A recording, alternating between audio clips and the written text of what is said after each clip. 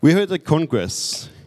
Here uh, not only talk about technology, we also talk about social and ethical responsibility. Um, about how we can change the world for good. The Good Technology Collective supports the development guidelines, uh, sorry, it supports the development process of new technology with ethical engineering guidelines that offer a practical way to take ethic and social impact into account.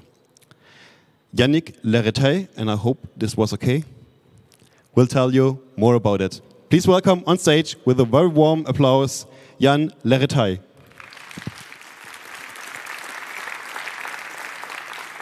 Hi, thanks for the introduction. Uh, so before we start, can you kind of show me your hand if you like work in tech, building products as designers, engineers, coders, product management? Okay, so it's like 95%, 90%.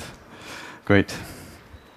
Um, yeah, so today we kind of try to answer the question, um, what is good technology and how can we build better technology?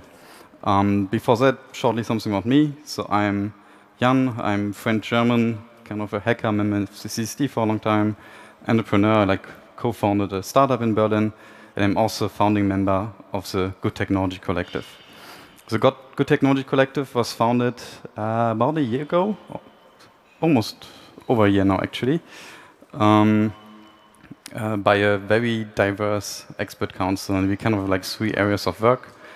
Um, the first one is trying to educate the public about current issues with uh, technology, then to educate engineers how to build better technology, and then long term, hopefully one day, um, we be able to work like in legislation as well.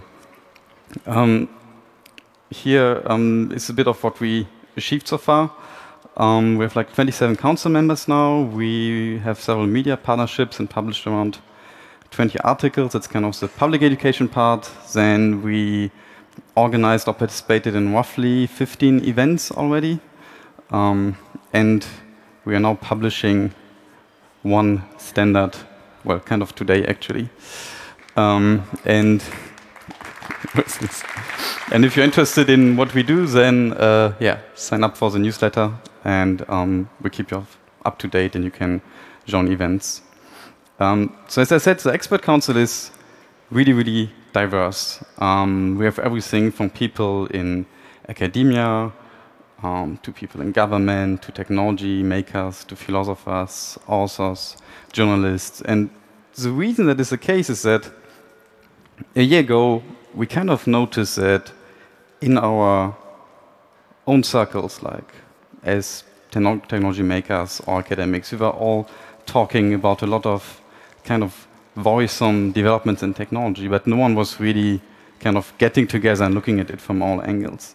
And there have been a lot of very weird and troublesome developments in the last two years. I think we really finally feel, um, you know, like the impact of filter bubbles, something people have talked for like five years, but now it's like really like, you know, deciding over elections and um, people become politically radicalized and societies kind of polarized more because they only see a certain opinion anymore. We have um, situations that we only knew like from science fiction, which is kind of you know pre-crime, like governments kind of overarching and trying to use machine learning to make um, decisions on whether or not you should go um, to jail. We have more and more machine learning and big data and optimization going basically every single aspect of our lives, and not all of it has been, has been posi uh, positive. You know, like literally everything from e-commerce to banking to to navigating to moving through the world now goes through these interfaces um, that presents us the data and a slice of the world at a time. And then at the same time, we have really positive developments, right? We have things like this, you know, like space travel. Finally, something's happening again. We have huge advances in medicine. Um, maybe soon we'll have like self-driving cars and great renewable technology. And it kind of begs the question, how can it be that um, good and bad uh, uses of technology are kind of showing up at such an increasing rate in with like on such extremes, right? And maybe the reason is just that everything got so complicated, right? Data is basically doubling every couple of years, so no human can possibly process anymore. So we had to build more and more complex algorithms to process it, connecting more and more parts together. And no one really seems to understand it anymore, it seems. Um, and that leads to unintended consequences. I have an example here. So Google Photos, this is actually already two years ago, launched a classifier to automatically go through all of your pictures and tell you what it is. So you could say, show me the picture of the bird in summer at this location, and would find it for you. Um, kind of really cool technology, and they released it to like the entire user base until someone figured out that people of color were always marked as gorillas. so, of course, it was a huge PR disaster, right? Somehow no one found out about this before it came out. But now the interesting thing is, in two years, they didn't even manage to fix it. So their solution was to just block all kind of apes, so they're just not found anymore, and that's how they solved it, right? But if even Google can't solve this, um, what does it mean? And then at the same time, you know, sometimes we seem to have kind of intended consequences. Um, I have an example, another example here, Uber Greyball. I don't know if anyone heard about it. Um, so Uber was very eager to change regulation and push their services globally as much as possible and kind of starting a fight with, you know, all the taxi laws and regulation and taxi drivers in the various countries around the world. And what they realized, of course, is that they didn't really want people to be able to like investigate uh, what they were doing or like finding individual drivers. So they built this absolutely massive operation, which was like crawling data in social media profiles, linking like your credit card and location data to find out if you were working for the government. And if you did, you would just never find a car. It would just not show up, right? And that was clearly intentional, right? So at the same time, they were pushing like on like the lobbyism political side to change regulation while heavily manipulating the people that are pushing um, to change the regulation, right? Which is really not a very nice thing to, to do, I would say. And the thing that I find kind of worrisome about this, no matter if it's intended or unintended, is that it actually gets worse, right? The more and more systems we interconnect, the worse these consequences can get. And I have an example here. So this is a screenshot uh, I took off Google Maps yesterday. And you notice there are like certain locations that are kind of highlighted on this map. And I don't know if you knew it, but this map and the locations that Google highlight um, look different for every single person. Actually, I went again and looked today, and it looked different again. So Google is already heavily filtering and kind of highlighting certain places, like maybe this restaurant over there, if you can see it. Um, and I would say, like, from just opening the map, it's not obvious to you that it's doing that, or that it's trying to decide for you um, which place is interesting for you. However, that's probably not such a big issue. But the same company, Google with Waymo, is also developing this, and they just started deploying them, self-driving cars. They're still a good couple years away from actually making it reality, but they are really, in terms of like audience, they're trying it at the moment um, the fastest, I would say. And uh, in some cities, they started deploying self-driving cars. So now, just think like five, ten years into the future, and you have signed up in your Google self-driving account. Probably you don't have your own car anymore, right? So you go in the car, and we were like, hey, Yann, where do you want to go? Do you want to go to work? Because, I mean, obviously, that's, that's where I probably go most of the time. Do you want to go to your favorite Asian restaurant, like the one we just saw on the map? Um, which is actually not my favorite, but the first time I went to, so Google just assumed it was. Do you want to go to another Asian restaurant? Because obviously that's all I like. And then McDonald's because everyone goes there. And maybe the fifth entry is an advertisement. And you would say, well, Yann, you know, that's still kind of fine, but that's okay, because I can still click on no, I don't want these five options, give me like the full map. But now, we went back here. So even though you are seeing the map, you're not actually seeing all the choices. So at Google is actually filtering for you where it thinks you want to go. So now we have, you know, the car like the symbol of mobility and freedom um, that enabled so much change in our society that it actually reducing the part of the world that you see.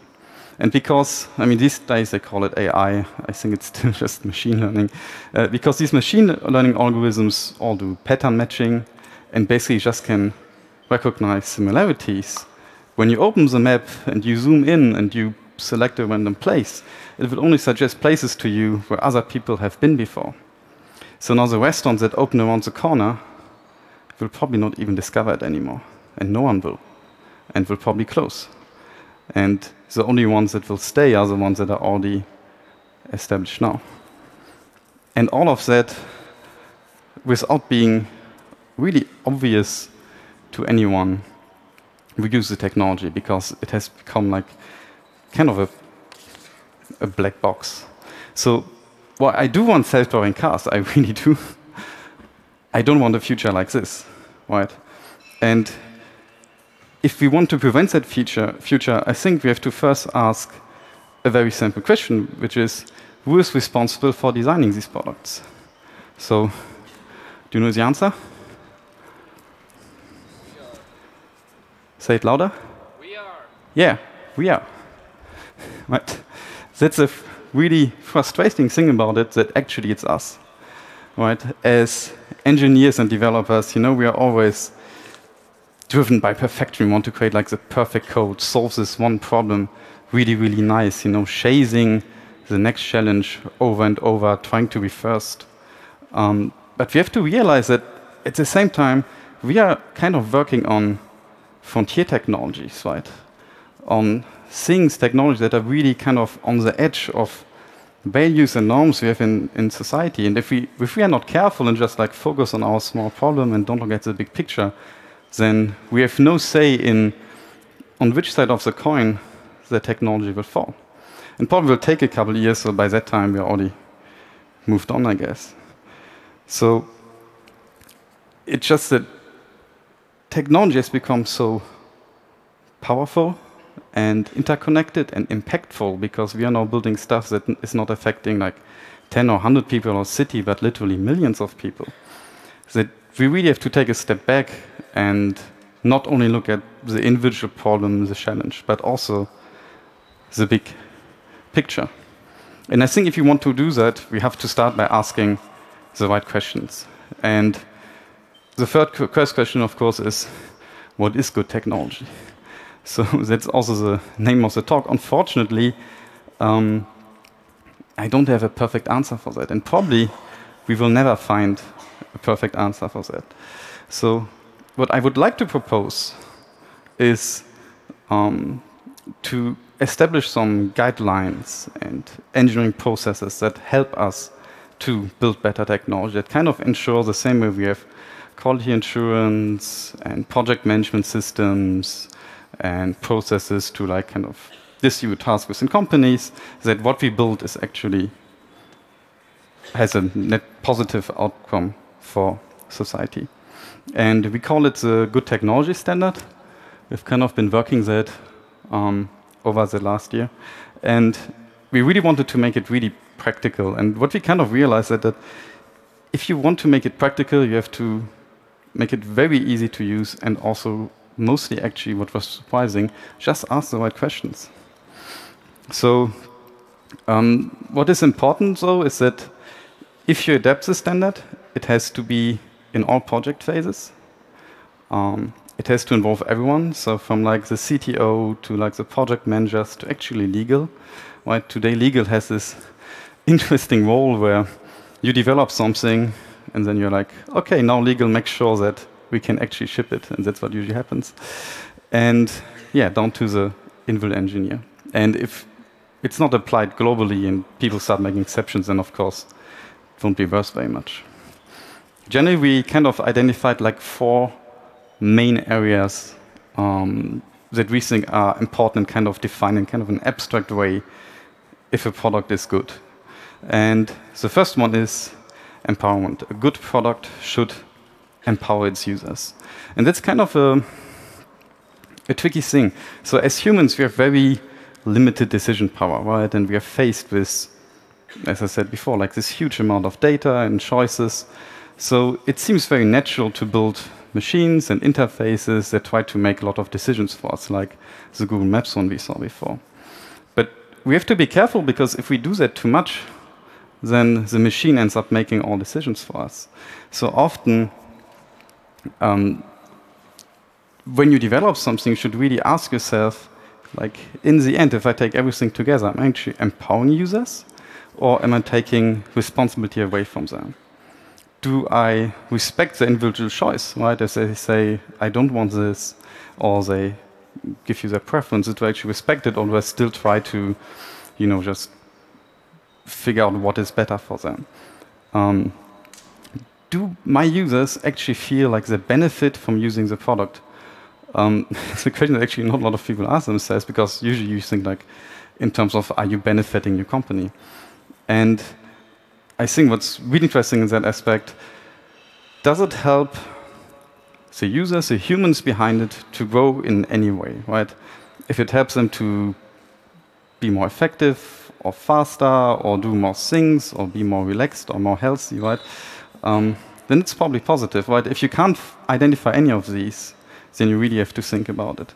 And then, in terms of AI and machine learning, um, are we actually kind of impacting their own reasoning so that they can't make proper decisions anymore? Um, the second one is purposeful product design. And that one is one that um, has been kind of a pet peeve for me for a really long time.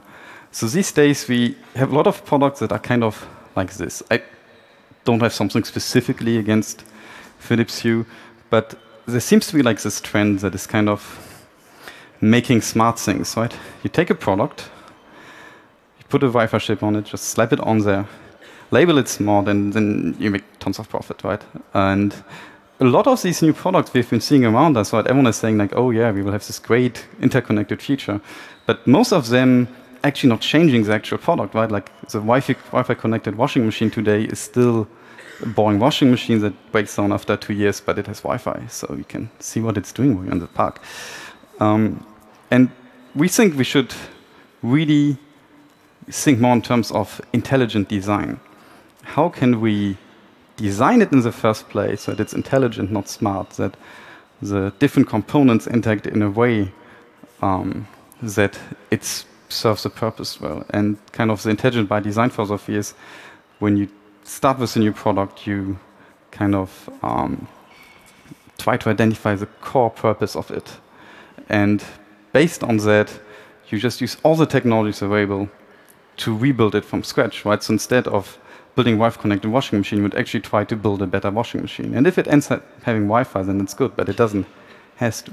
And along each step, actually try to ask yourself, am I actually improving washing machines here? Or am I just creating another data point? And yeah, a good example for that is kind of a watch. Um, so of course, it's very old analog technology. It was invented a long time ago. But back when it was invented, it was something you could have on your arm or in your pocket in the beginning. And it was kind of a natural extension of yourself, right? It kind of enhances your sense because it's never there.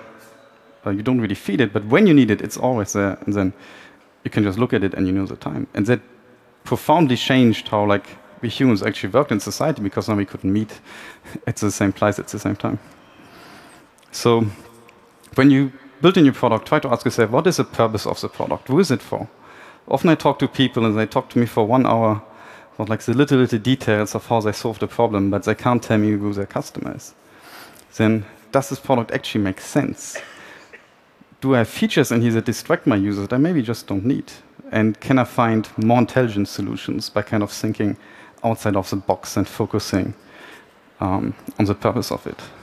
And then, of course, what is the long-term product vision? Like, where do I want this to go, this kind of technology I'm developing in the next years? So the next one is kind of societal impact that goes into what um, I talked about in the beginning with all the negative um, consequences we have seen. A lot of people these days don't realize that even if you're like in a small startup and you're working on, I don't know, ad technology or robots or whatever, you don't know if your algorithm or your mechanism or whatever you build will be used by 100 million people in five years. Because this has happened a lot. Right? So already when starting to build it, you have to think, if this product would be used by 10 million, 100 million, maybe even a billion people like Facebook, would it have negative consequences? Right? Because then you get completely different effects in society, um, completely different engagement cycles, and so on. Then, are we taking advantage of human weaknesses? So, this is arguably something that is just bad technology.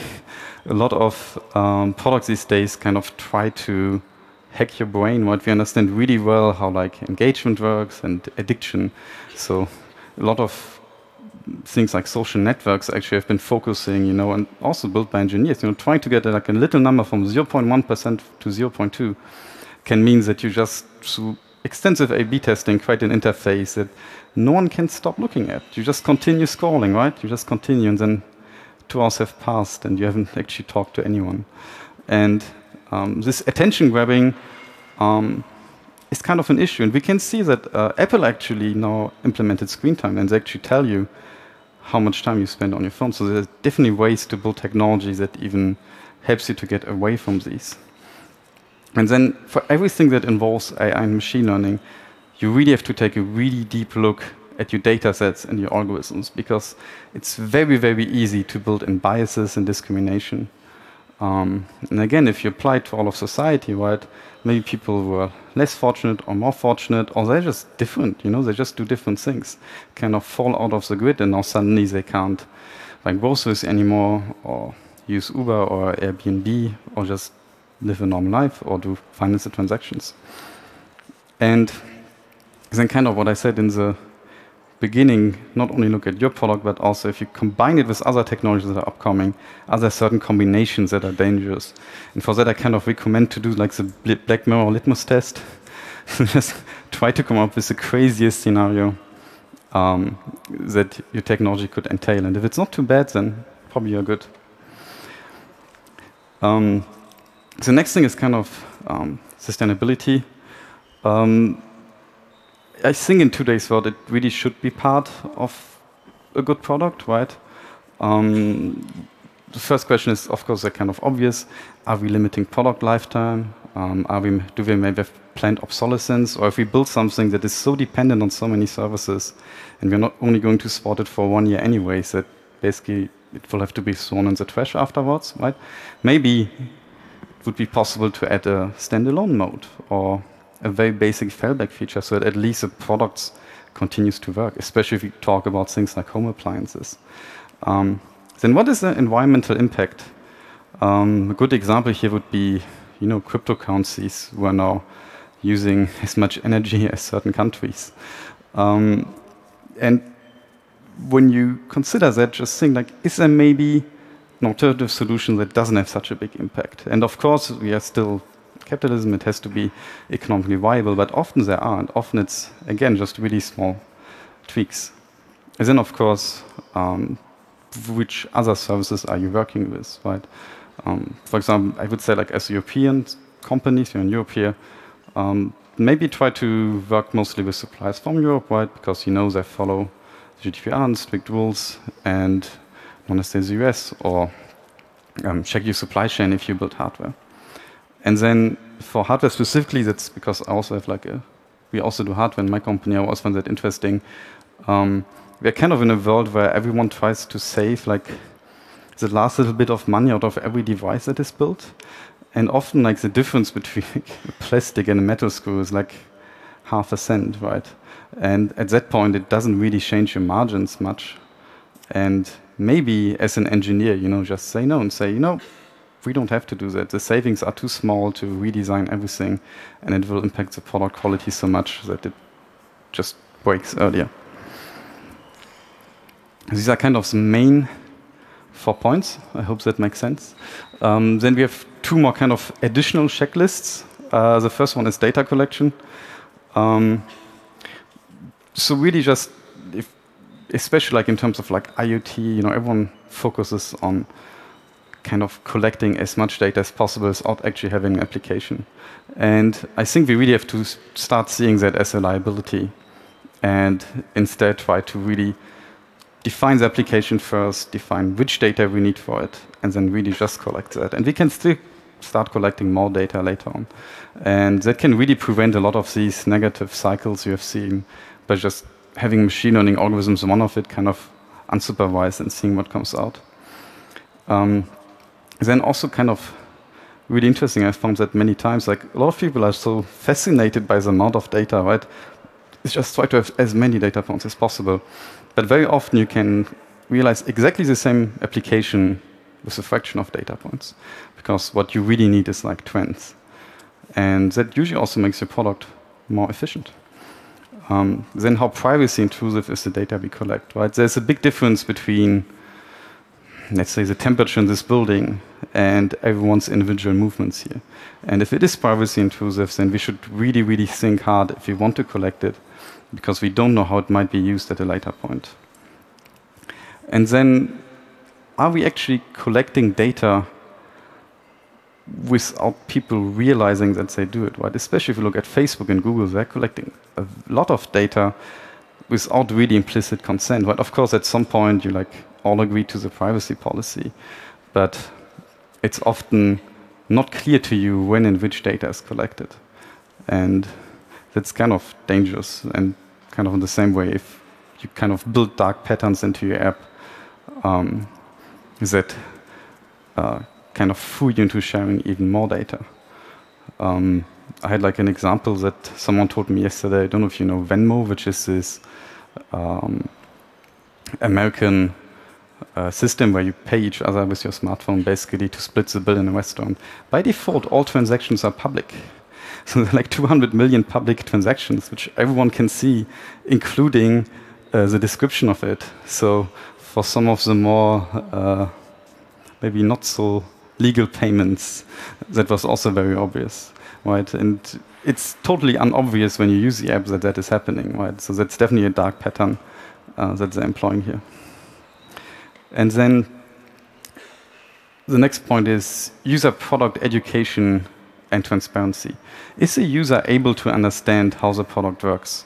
And of course, we can't really ever have a perfect explanation um, of all the intricacies of the technology. But these days, um, for most people, almost all of the apps, the interfaces, the building technology they interact with is a complete black box, and no one is really doing an effort to explain it to them. Right? Most companies advertise it like this magical thing, right? But that just leads to kind of this alienization where you just look at it and you don't even try to understand it. Um, I'm pretty sure that no one ever like um, these days is still like opening up a PC and trying looking at the components, right? Because everything is in a tablet and it's integrated and it's sold to us as like this magical uh, media consumption machine. Um, then are users informed when decisions are made for them? So we had that in empowerment um, that we should try to reduce the amount of decisions we make for the user. But sometimes it's a good thing to do. But then is it transparently communicated, right? I would be totally fine with Google Maps filtering out for me the points of interest if it would actually tell me that it's doing that. And if it can understand why it made that decision and why it showed me this place. And maybe also have a way to switch it off if I want. But today we seem to kind of assume that we know better for the people, right? So we found the perfect algorithm that has a perfect answer. So we don't even have to explain how it works, right? We just do it and people will be happy. But then we end up with these very negative consequences. And then, and that's more like a marketing thing. How is it actually advertised? Um, I find it, for example, quite worrisome that things like um, Siri and Alexa and Google Home are like sold as these magical AI machines that make your life better and are your personal assistant, when in reality they're actually still pretty dumb pattern matching. Um, and that also creates a big disconnect because now you have children growing up uh, who actually think that Alexa is a person. And that's kind of dangerous. And I think we should try to prevent that because um, for these children, basically, it kind of creates this this whale and it's uh, humanized. Um, and that's especially dangerous if then the machine starts to make decisions for them and suggestions because they will take them as if a human did it for them. So, what is that? So, um, these are kind of the main areas. So, of course, it's a bit more complicated. Um, so, we uh, just published the standard today uh, in the first draft version. And uh, it's basically three parts. It's like the introduction, um, kind of the questionnaire and checklist that you just saw, and then actually how to implement it in your company, um, which processes to have, at which point you basically should have kind of a feature gate. And I would kind of ask everyone to go there, look at it, contribute, share it with people. Um, we hope that we'll have a final version ready uh, kind of in Q1 and um, that by then people can um, start to implement it. Oh, yeah. So,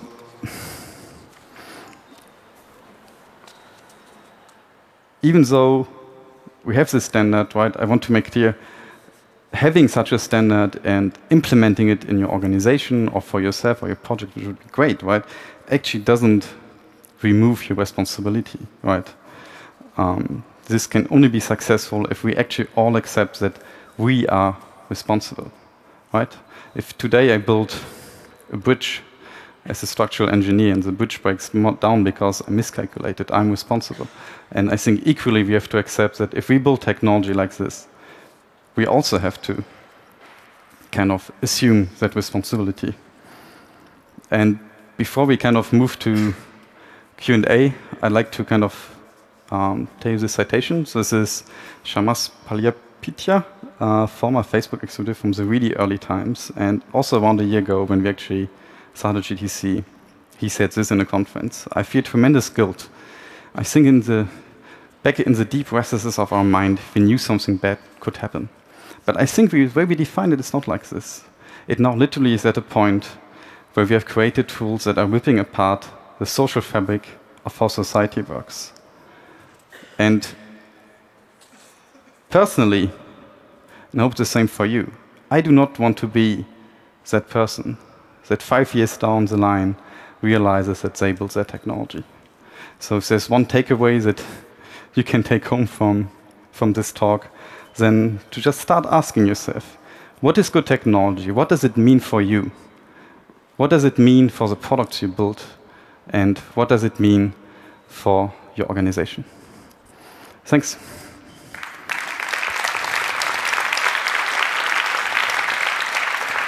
Thank you. Yann Leretaille. Do we have questions in the room? There are microphones. Microphones number one, two, three, four, five. Um, if you have a question, please speak loud into the microphone, as the people in the stream want to hear you as well. I think microphone number one was the fastest. So please. Okay. Thank you for your talk. I just want to make a short comment first and then ask a question. I think this last thing you mentioned about offering users the options to have more control of the interface is also a problem that users don't want it because when you look at the statistics of how people use uh, online web tools, only maybe 5% of them actually use the options. So companies remove them because for them it seems like uh, it's something not so efficient for user experience. So this was just one thing to mention, and maybe you can respond to that. But what I wanted to ask you was that um, all these principles that you presented, they seem to be very sound and interesting and good. Uh, we can all accept them as developers, but how would you propose to actually sell them to companies? Because if you uh, adopt a principle like this is an in individual based on your ideology or the way that you think, okay, it's great, it will work, but how would you convince a company which is driven by profits to, to adopt these practices? Have you thought of this and what's your um, idea about this is? Thank you. Yeah, um, maybe to the first part. Um, first, that giving people choice is something that people do not want, and that's why companies removed it.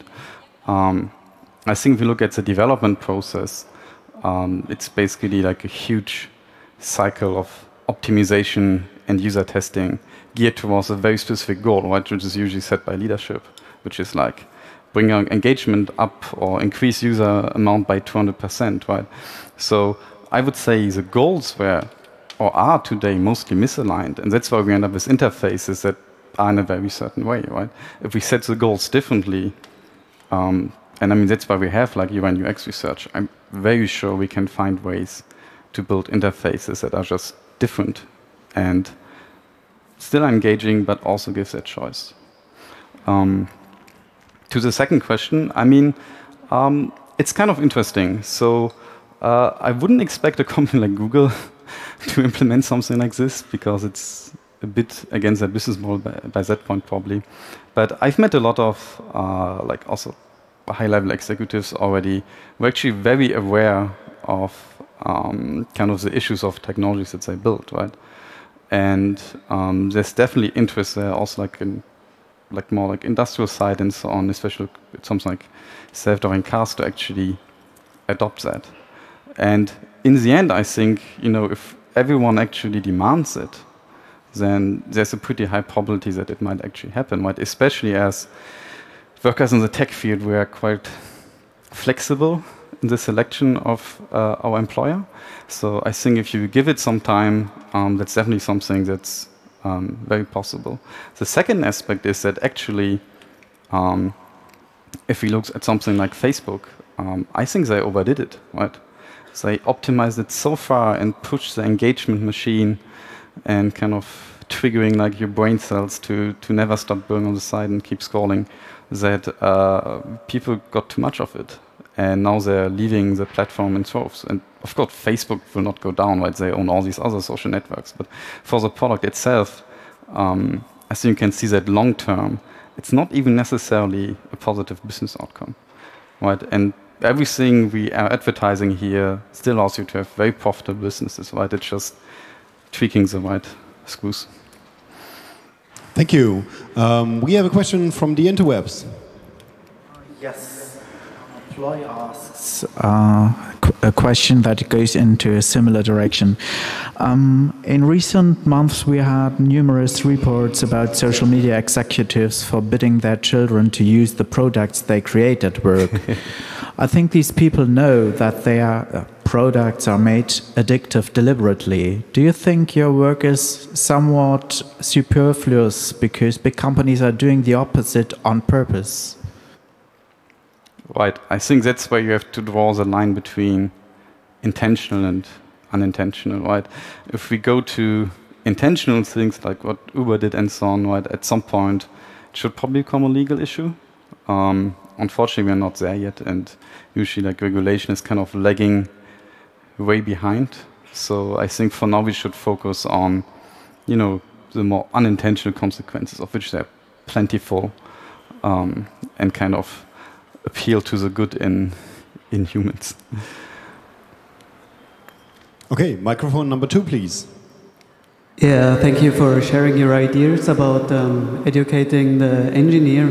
Um, what about um, educating the, the customer or the consumer who uh, purchases the product? Yeah, so um, that's a really valid point, right? Um, as I said, I think, or we think actually as a GTC, like part of your product development um, and the way you build a product should also be how you educate your users on how it works. Um, generally, we have a really big um, kind of technology literacy problem, right? Things have been moving so fast in the last years that most people haven't really catched up and they just don't understand things anymore. Um, and I think again, that's like a shared responsibility, right? That you can't just do that like in the tech field. You have to talk to your relatives, to people. Um, that's why we are doing like this series of articles and media partnerships to kind of explain and make these things transparent.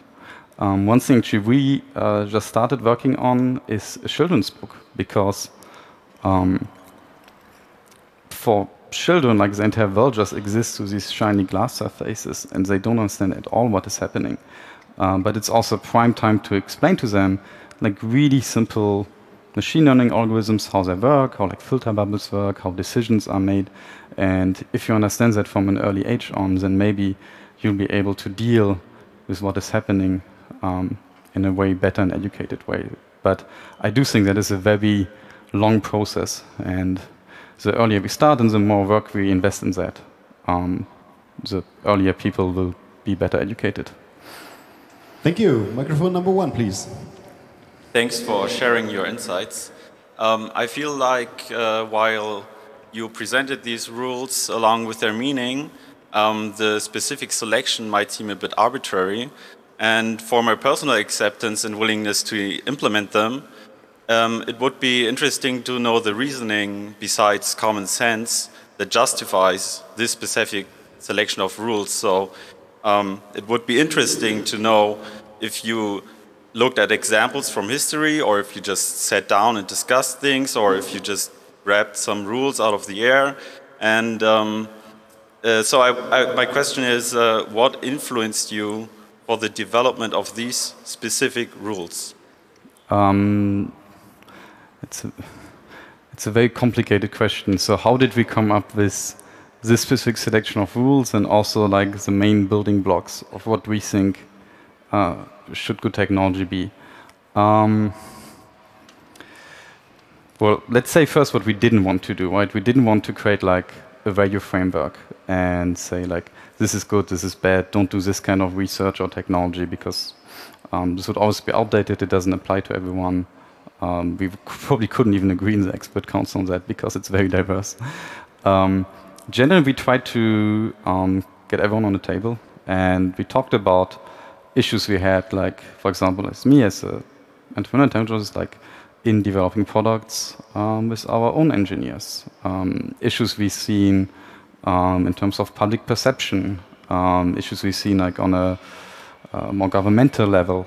Um, then also uh, we also have like futurologists in there, so um, we looked at that as well. And then we made a really, really long list and kind of started clustering it and uh, a couple of things um, did get cut off, but generally, um, based on the clustering, these were kind of the main themes that we saw. And again, it's it's really more of a tool for yourself as a company that developers and designers and engineers to really understand the impact and evaluate it. Right? This, this is what these questions are aimed at. Um, and we think that for that they uh, do a very good job. Thank you. Thank you. And uh, I think microphone number two has a question again. Uh, hi, I was just wondering how you've gone about engaging with other standards bodies that perhaps have a wider representation. It looks largely like from your team of um, the council currently that there's not necessarily a lot of engagement outside of Europe. So, how do you go about getting representation from Asia, for example? Um, no, at the moment, uh, you are correct. The GTC is uh, mostly European initiative, pan-European. Um, we are in talks with other organizations who work on similar issues and like regularly exchange ideas.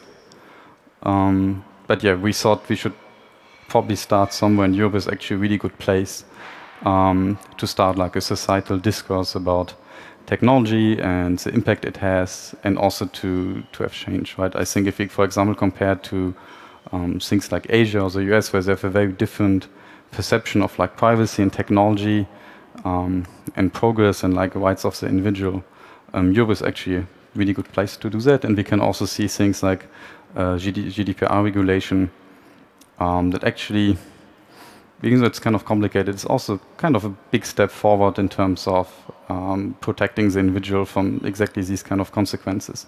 Um, of course, though, long term, would like to expand this um, globally.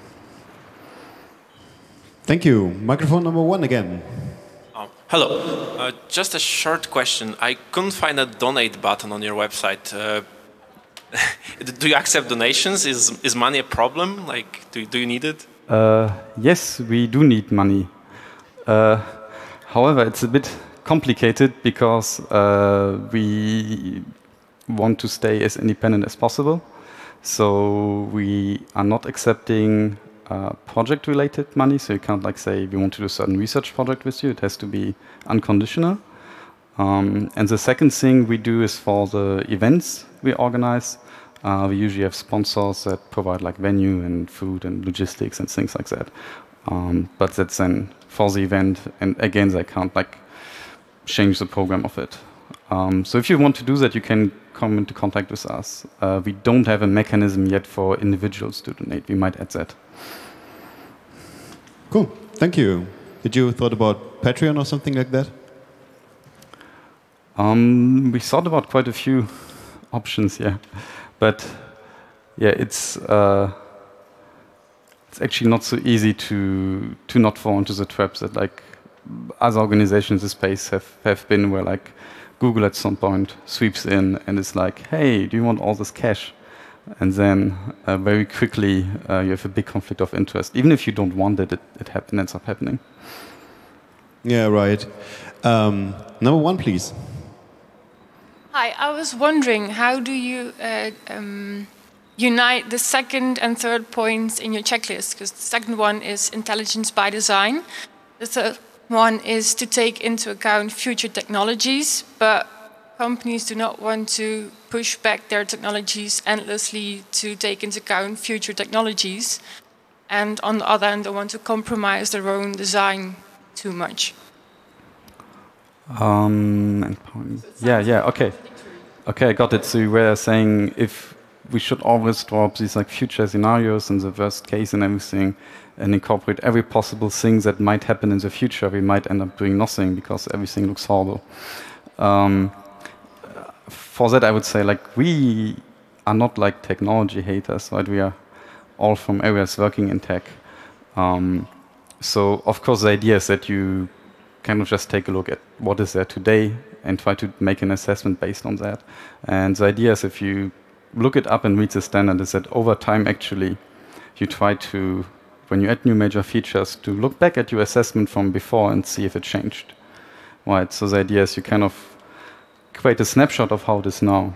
And um, this kind of document that you end up with as part of your documentation kind of evolves over time as your product changes and the technology around it changes as well. Thank you. Um, microphone number two. So thanks for the talk and especially the effort. Um, just to echo back the question that was asked a bit before on starting with Europe, um, I I do think it's a good option.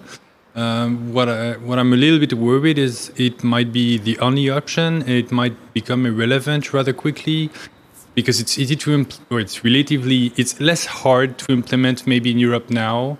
Uh, okay. The question is, uh, it might work in Europe now, but if Europe doesn't have the same economical power, it cannot bargain as much politically with, let's say, China or uh, the US and Silicon Valley. So, will it still be possible and relevant if the economical balance shifts?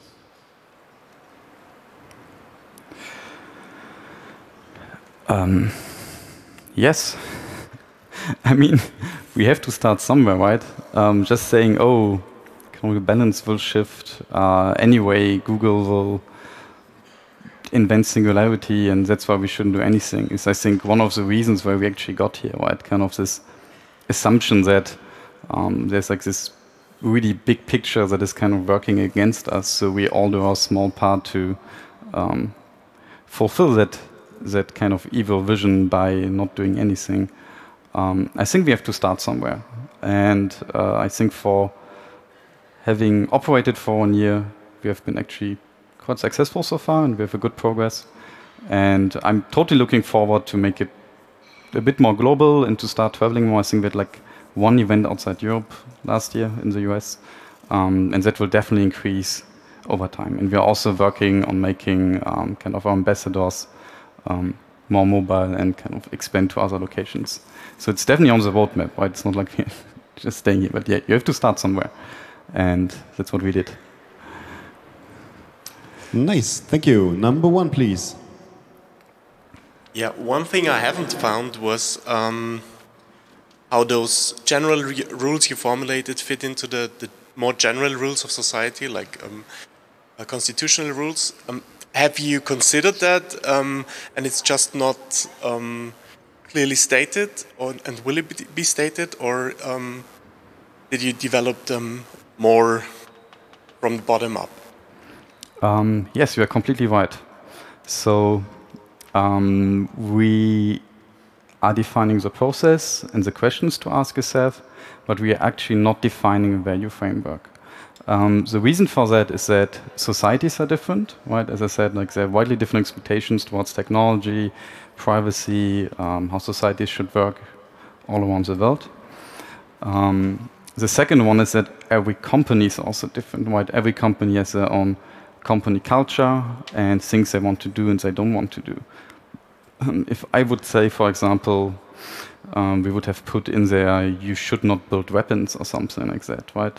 That would mean that all these companies that work in that field couldn't try to adapt it. And while I don't want them to build weapons, maybe in their value framework that's okay. And we don't want to impose that, right? Um, that's why I said in the beginning, we actually, even though we're called a good technology collective, we are not defining what it is. And I think that's really important. We are not trying to impose our opinion here.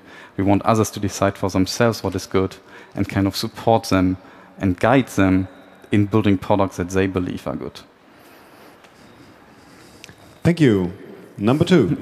Hello, thanks for sharing. Uh, as engineer, we also always want users to spend more time to use our product, right? But uh, I'm working at mobile game company. Yep. Uh, we are making we are making a world that user love our product. So we want users to spend more time in our game, so we, may make lots of money. Yeah, but uh, when users spend time to play our game, they may lose something. Yep, you know. So how do you think about the balance in a game, mobile game? Yep. Um, it's a really difficult question. So the question was like specifically for mobile gaming um, where's kind of the balance between trying to engage people more and um, yeah, basically making them addicted and having them spend all their money, I, I guess. Um, I personally would say um, it's about intent, right? Um, it's totally fine to have a business model where you make money with a game. I mean, that's kind of good, and people do want entertainment. But if you actively use um, like research in how like you know like the brain actually works and how it gets super engaged and um, if you basically build in like gamification and lotteries which a lot of things have done where basically your game becomes a slot machine right? So you always want to see the next the next opening of a crate and see what you got um, kind of making it a luck-based game. Actually, I think if you go too far into that direction, at some point you cross the line. Uh, where that line is, you have to decide yourself. Right? Some of it could be a good game dy dynamic, but there are definitely some games out there. I would say where it's quite reasonable to say that they pushed the limit quite a bit too far. And if you actually look how they did it, because they wrote about it, they actually did use very modern research and very extensive testing to really find out these all these patterns um, that make you addicted. And then it's not much better than an actual slot machine. And that probably we don't want. So it's also an ethical question for each and every one of us, right? Yes. Um, I think there's a light, and I think this light means the interwebs has a question. Uh, there's another question from Ploy about practical usage, I guess. Um, are you putting your guidelines at work in your company? You said you're an entrepreneur. That's a great question. Um, yes, we will.